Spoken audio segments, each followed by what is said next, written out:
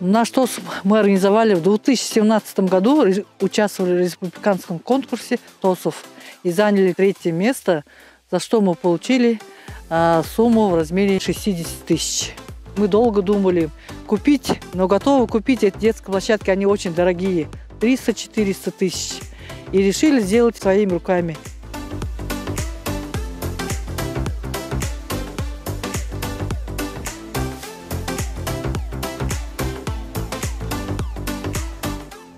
Для детей стараемся, делаем. Сейчас качели хотим сделать. Не с палками по улице там бегать, на катке прокатиться, футбол сыграть.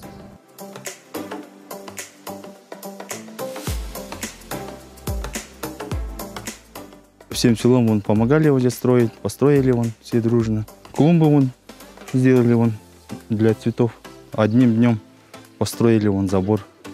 И второй день сразу покрасили, установили качели, скамейки. Ну, всякие вон игры вон, всякие мероприятия проводим.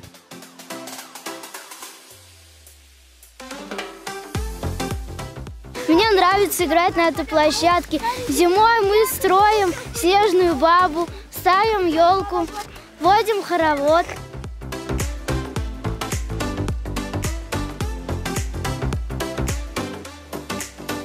Вот это жилой дом был, и купили этот дом.